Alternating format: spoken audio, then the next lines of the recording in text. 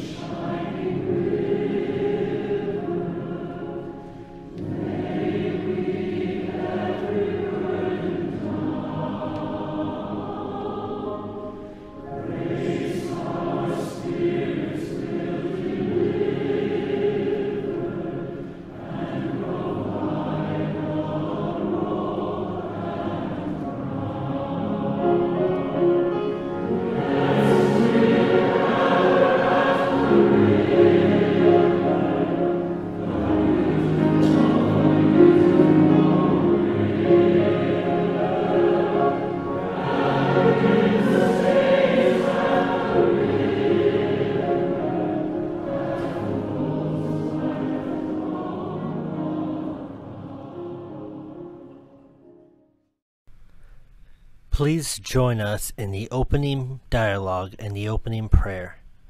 You will read the words on the screen. We have been claimed by the God who calls us children. We, the redeemed, have been called by name. As with the Israelites, God promises to pass with us through the water. We will not fear for God is with us. The rivers shall not overwhelm us, for God is our guide and our protector. Through God's saving grace, the waters that tested us are now the waters that wash us and nourish us. Great is the fount of every blessing, ever flowing, ever redeeming, ever claiming us as the God's children. Come, let us worship the God who washes us in grace. Let us pray. Most wonderful God, foolish and flawed though we are, we are too delighted in your beloved Son, as in his name we gather in the house of many praises. May the heavens be opened for us, that we may catch a glimpse of that light and love that transforms our common days with a beauty not of our making. Through Jesus Christ our Lord. Amen.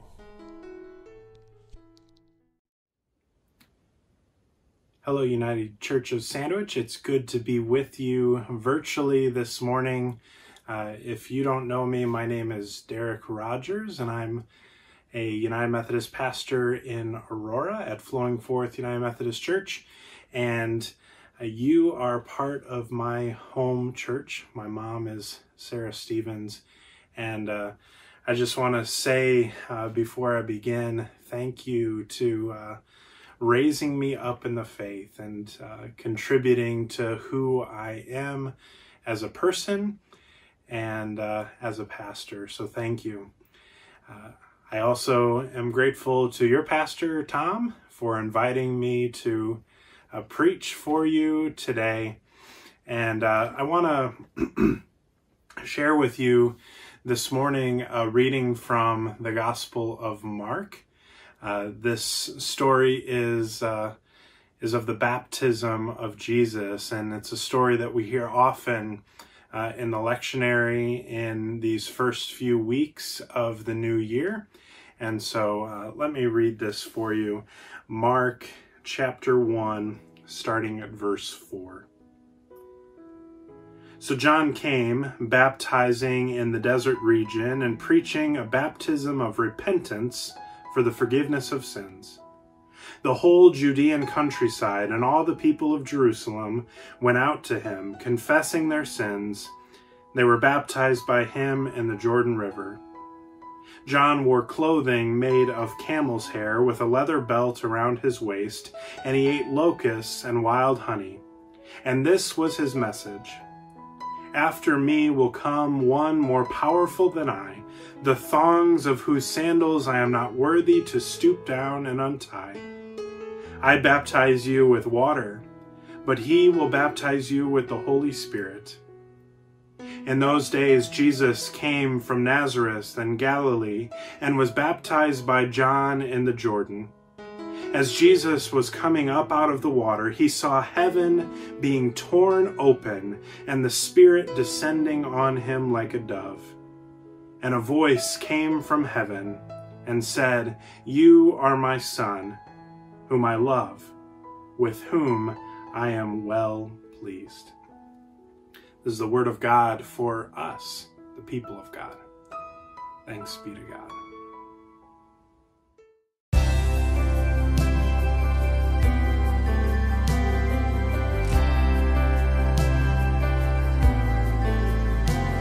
He grace graces our burdens grow greater. He sends us more strength as our labors increase. To added afflictions, He offers more mercy.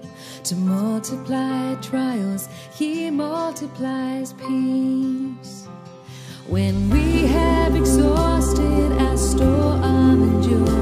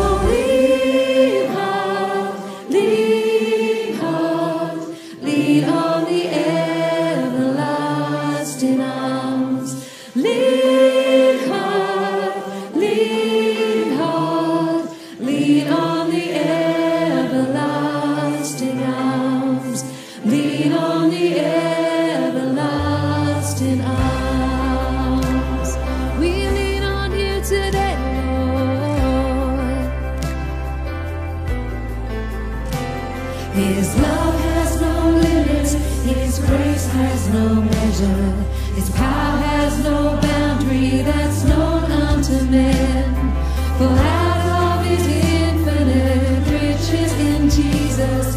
He giveth and giveth and giveth again. He giveth and giveth.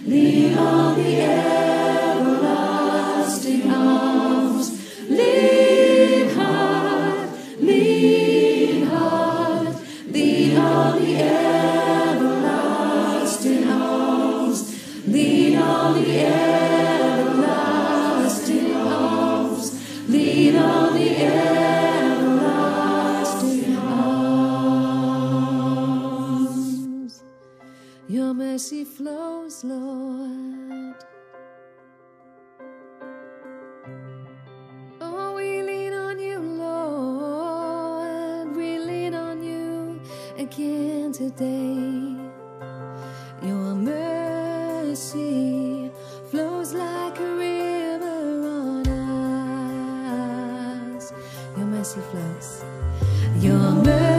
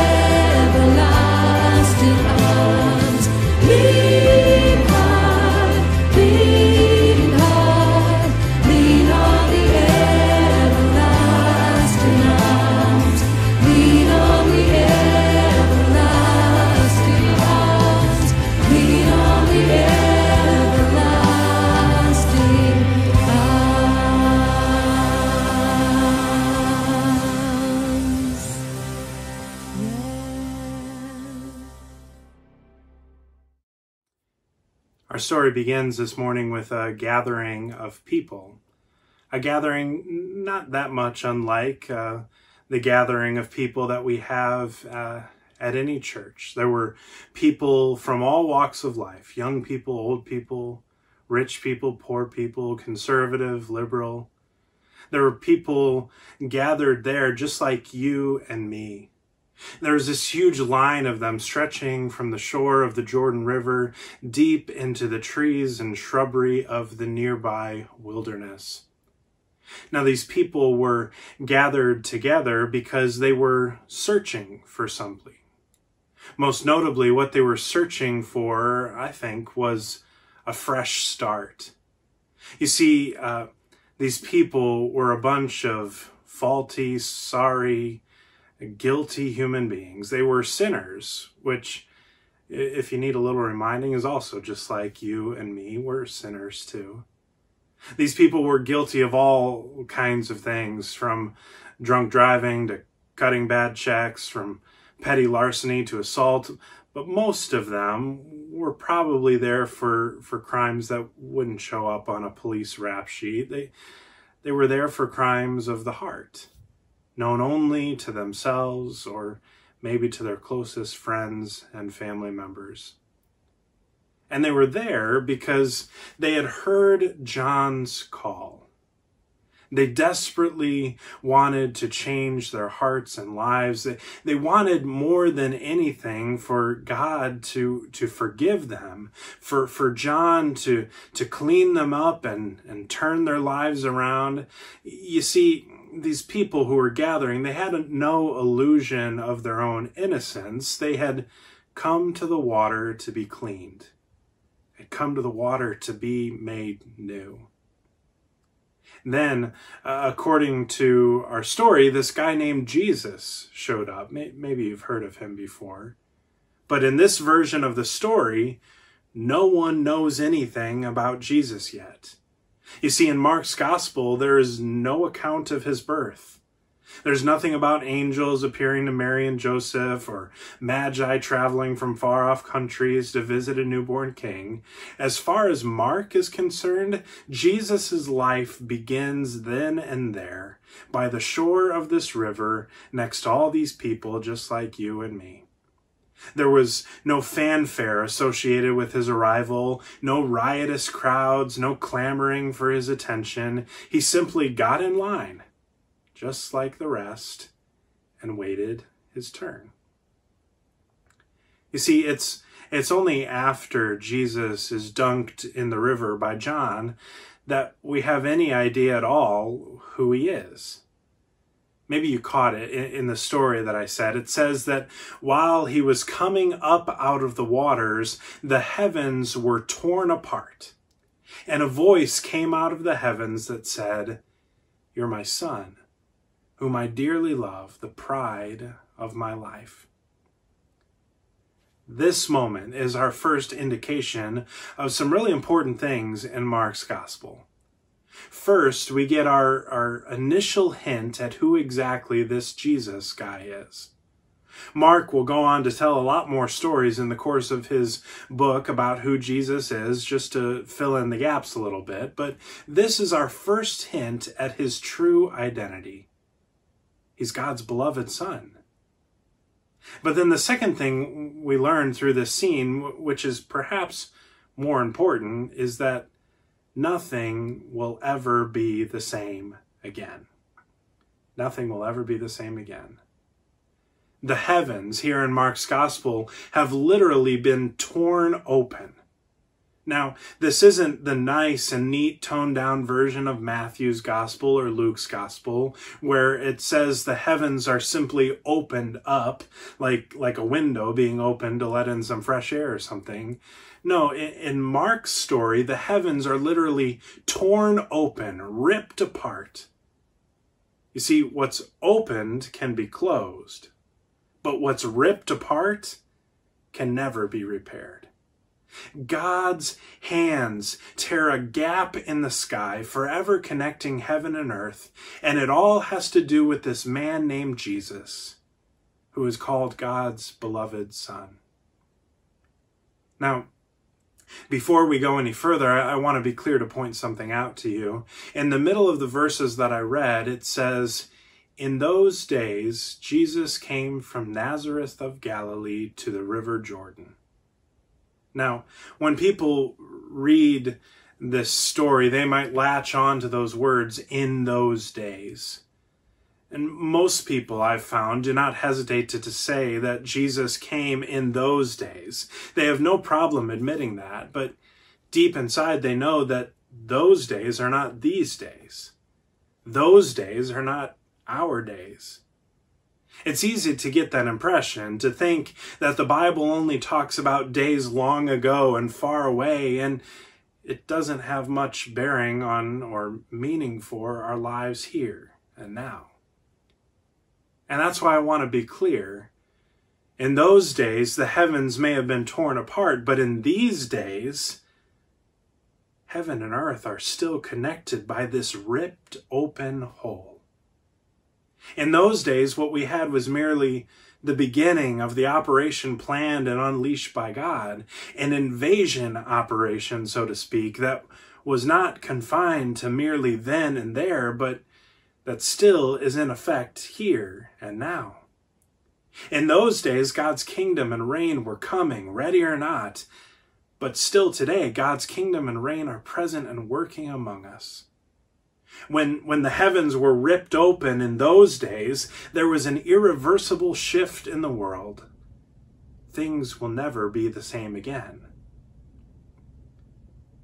Now, theologian Karl Barth, Barth said this is an astonishing claim that's being made in this scene where the heavens are torn open and Jesus is claimed as God's beloved son, that, that in this scene we are let in on God's divine plan, that, quote, God no longer wants to remain hidden in the heights of heaven, but descends to the depths of earthly life in order to be seen and heard and even stand in line with people just like you and me heaven and earth are forever connected, forever linked together. The fabric between the two has this gaping hole in it that has been ripped apart. Things have never been the same since.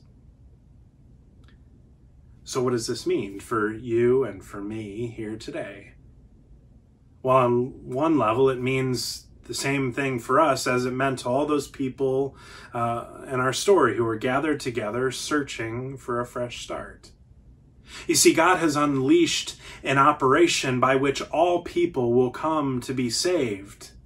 God has invaded earth with God's very own presence so that we don't have to wonder what God is like or even if God cares. God is no longer hidden in the clouds or in some far off heaven. God has come to earth and God is standing in a line by a river with a whole bunch of people just like you and me. In Jesus' baptism, the world as we know it is forever changed in our baptism, there's a similar shift. Our lives as we know them are forever changed in our baptism. You see, baptism isn't just a, a, few handfuls of water and a bunch of fancy words. It's a, it's a tearing in the fabric of our lives. We'll never be the same again.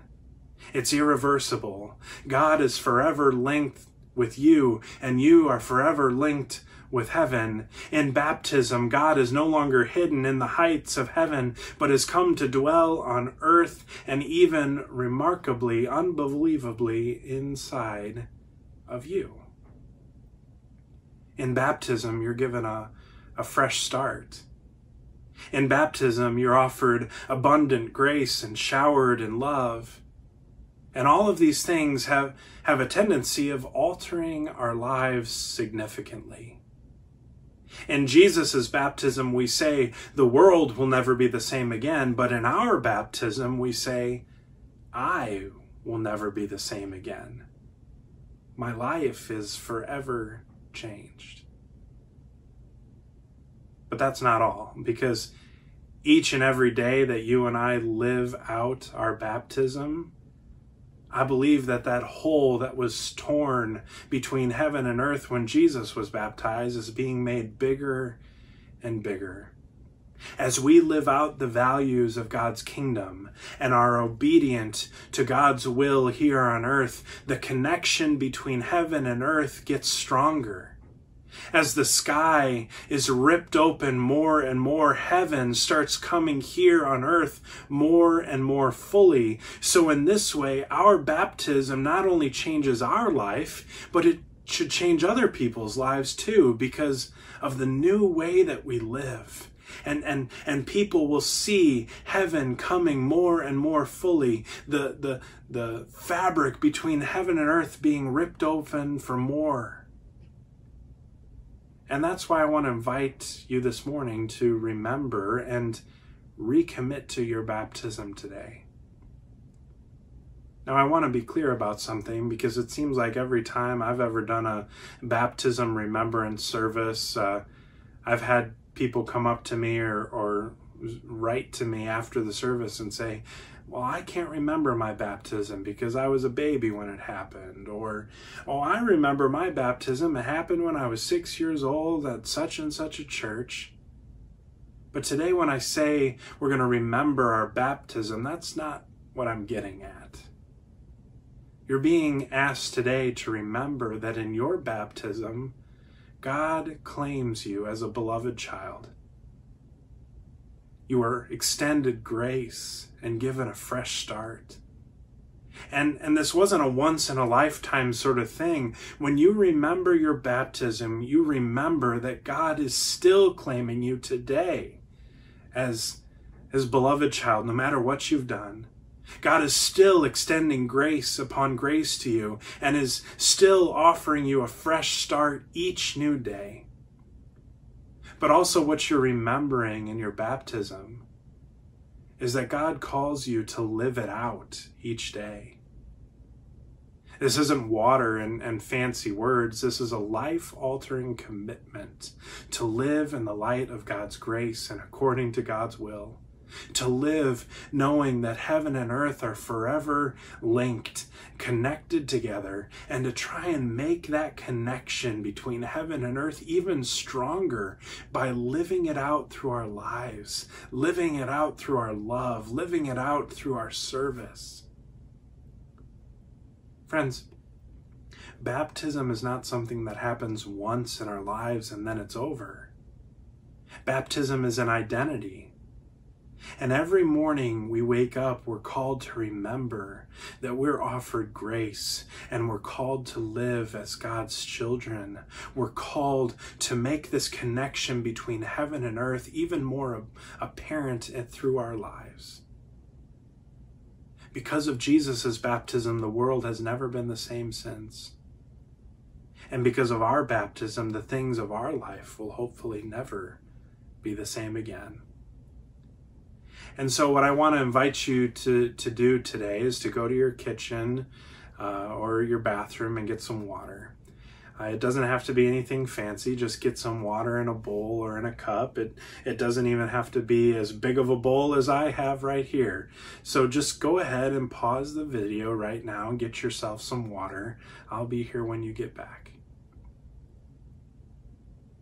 Now what I want you to do is to dip your fingers in the water and make a sign of a cross on your forehead. And repeat this prayer after me. Lord, I remember my baptism. Wash me by your grace. Fill me with your spirit. Renew my soul. I pray that I might live as your child today and honor you in all that I do.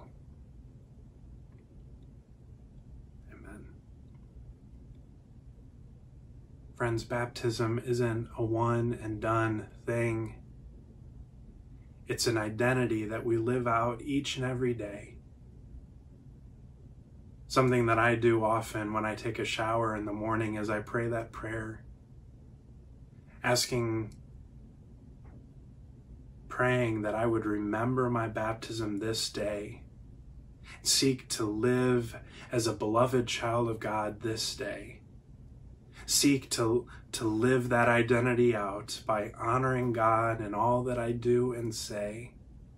And so, friends, remember your baptism today. Recommit to living it out. But don't just do it today. Maybe make it your 2021 resolution to every day. First thing when you wake up, or right when you get out of shower of the shower in the morning or when you take a, a, a drink of water at lunchtime whenever it is to remember your baptism and recommit to live into that identity.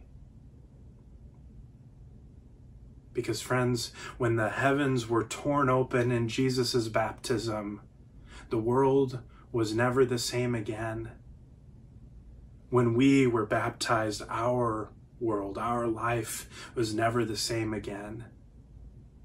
And we're called to live it out so that that gaping hole between heaven and earth gets even bigger by us living it out.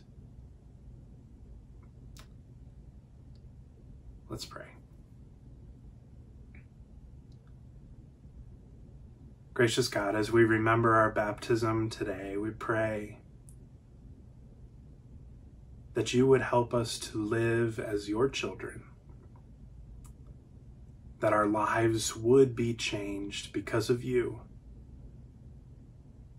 and that we would seek to honor you in all that we say and do,